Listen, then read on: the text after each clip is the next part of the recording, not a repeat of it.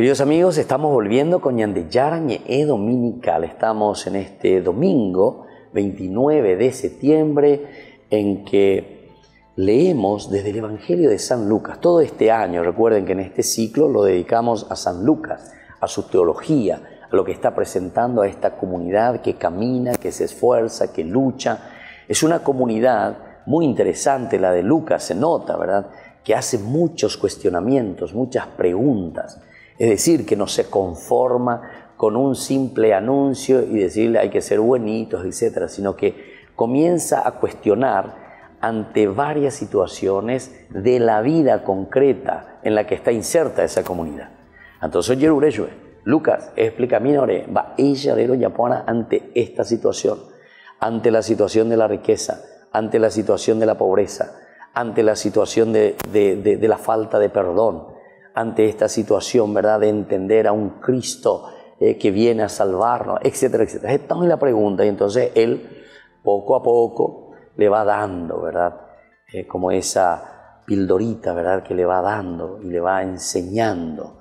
Y estas son las píldoras de fe, verdaderamente, que el Señor cada domingo nos da en nuestra vida y nuestro corazón para que tengamos este, nuestra orientación, nuestro GPS hacia Dios, podamos caminar ¿eh? Esto es lo que nos acompaña en nuestra brújula, decimos también nosotros. Leemos del capítulo 16, continuación del anterior, del 19 al 31. Principalmente la idea central va a ser escuchen a Moisés y a los profetas. En aquel tiempo Jesús contó esta parábola. Había un hombre rico que vestía de púrpura y lino y todos los días hacía espléndidos banquetes Echado a la puerta del rico había también un pobre, cubierto de llagas, llamado Lázaro, que ansiaba saciarse con lo que caía de la mesa del rico, y hasta los perros iban a lamerle las heridas.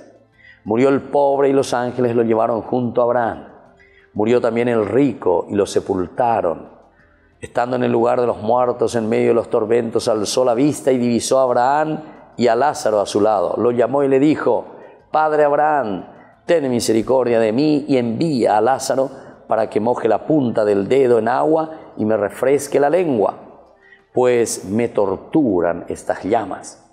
Respondió Abraham, Hijo, recuerda que en vida recibiste bienes y Lázaro, por su parte, recibió desgracias. Ahora él es consolado y tú atormentado. Además, no se puede atravesar desde aquí hasta ustedes Insistió el rico, entonces por favor envíalo a casa de mi padre, donde tengo cinco hermanos, que les advierta, no sea que también ellos vengan a parar en este lugar del infierno de tormentos. Le dijo Abraham, tienen a Moisés y a los profetas que los escuchen.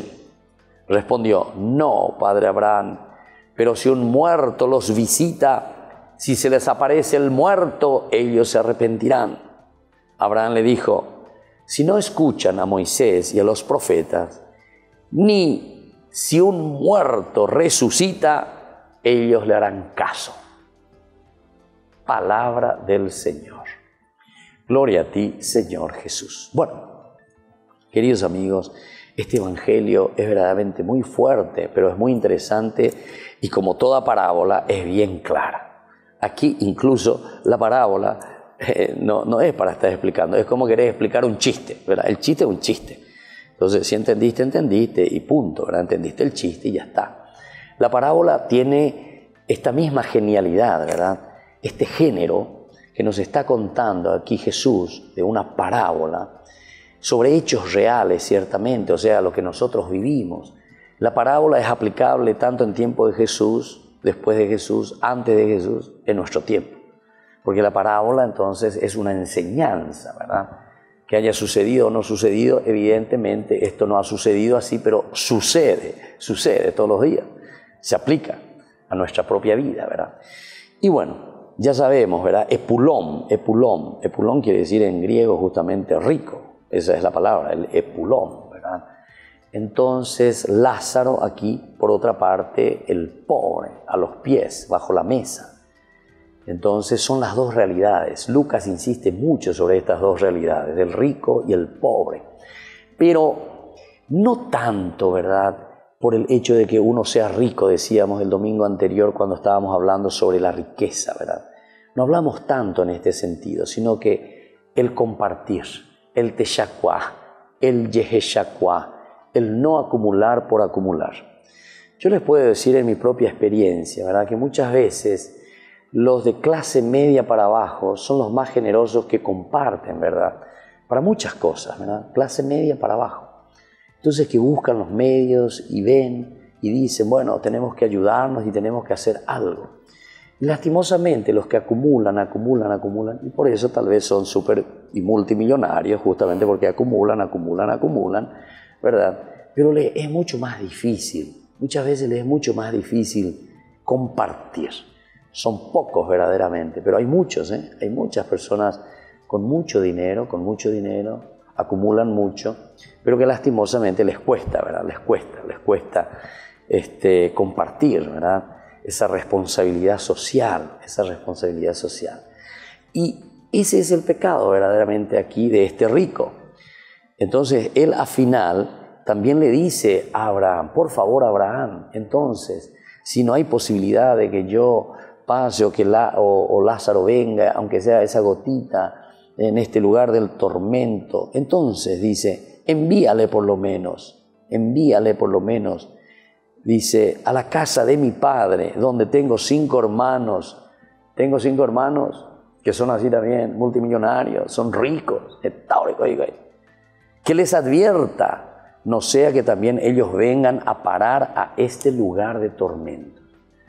Que ellos también no vengan a parar a este lugar de tormento.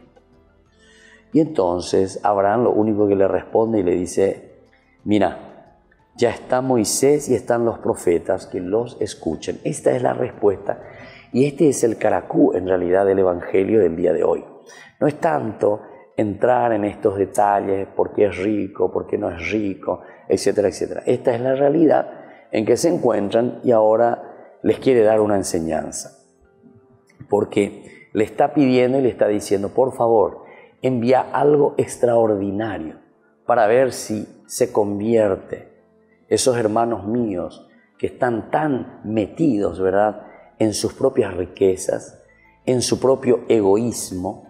Entonces le dice, envíale a este muerto que resucite y que vaya y que le diga, che, socio, ¿sabes qué? Mira lo que te espera allá arriba. Entonces le dice, no, ya tienen a Moisés y a los profetas. Queridos amigos, queridos hermanos, Ñande Yaracome en Bama nos pone aquí, nos habla, nos, nos, nos dice, nos encamina, nos advierte de tantas maneras, de tantas maneras. Al salir de tu casa voy a ver tal vez un pobre, al llegar a un semáforo ya estás viendo. Estas son las advertencias. Esto es lo que nosotros podemos entender. Ustedes ya tienen a Abraham, ya tienen a los profetas. Hey, pamanio ñande. Ya digo pamanio. En la Biblia nosotros ya tenemos todo.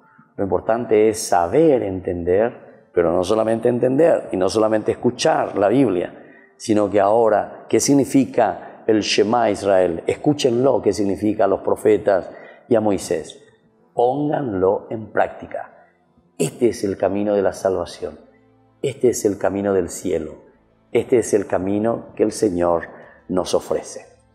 Y así entonces volvemos con más de Yarañe Dominical enseguida.